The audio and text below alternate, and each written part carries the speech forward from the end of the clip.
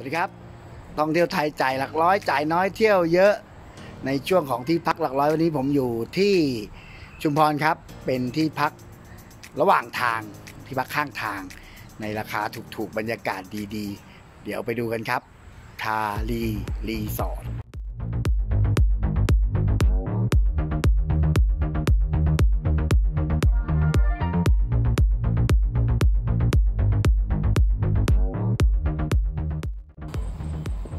พักห้องด้านในสุดครับ เบอร์ 8 เบอร์ 9 เป็นสไตล์ล็อบข้างหน้าก็จอดรถข้างห้องได้เลย หรือด้านหน้าห้องก็มีที่จอดอีก มองไปไกลๆเหมือนเขากำลังทำเพิ่มนะครับ เดี๋ยวเราเข้าไปดูในห้องกันครับบรรยากาศภายในห้องก็เป็นห้องง่าย ๆครับ ห้องใหม่ครับสะอาดสะอ้านเรามาไล่ดูนะครับ ก็มีแอร์ทีวี ตู้เย็นไม่มีนะครับ มีโต๊ะเล็กๆ ไว้นั่งทำงานพักผ่อน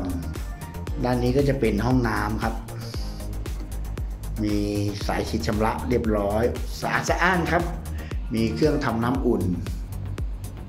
นี่ถือว่าโอเคเลยนะครับ ตู้เสื้อผ้าตู้เย็นไม่มีนะครับ แต่ 400 บาทสำหรับพักชั่วคราวอย่างนี้ ไม่ใช่ชั่วคราวนะหมายถึงว่าค้างคืนนี้ระหว่างเหนื่อยจากการขับรถ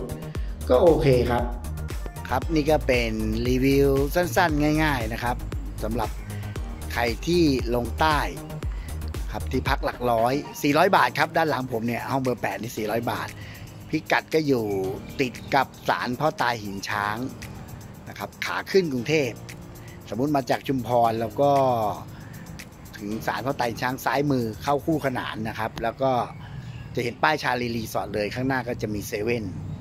สะดวกสบายครับ มีตลาดนัดด้วยวันนี้เดี๋ยวไปเดินเล่นตลาดนัดหาของกินได้พักผ่อนให้หายเหนื่อย แล้วขับรถไปต่อนี่ผมไปดำน้ำมาจากชุมพรก็มาแวะตรงนี้